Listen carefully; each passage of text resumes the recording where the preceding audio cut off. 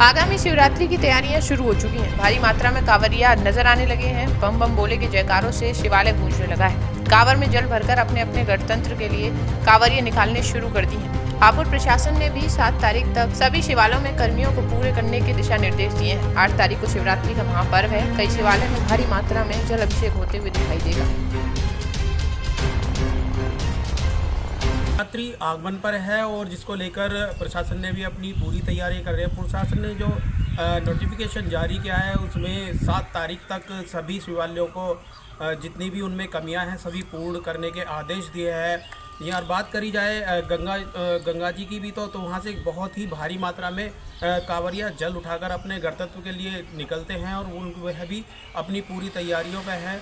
जहाँ रोड पर भी देखने को मिल रहा है कि कांवरिया काफ़ी भारी संख्या में इस टाइम निकलने शुरू हो गए हैं और जय जयकारे की जो पूरा ब्रह्मांड देखा जाए तो पूरा देश भी भोलेनाथ की आराध्या करता है और इस शिवरात्रि पे भोलेनाथ को जल अभिषेक करता है। तो जिसको लेकर कांवरिया अपने गणतंत्र के लिए निकलने शुरू हो गए हैं, रोड पर जय जयकारे नज़र आने लगे हैं। भोलेनाथ के जो शिवालयों के तरफ़ लोग निकलने शुरू हो गए हैं, जिसको लेकर प्रशासन ने भी अपनी पूरी तैयारियाँ करनी शुरू कर दी है।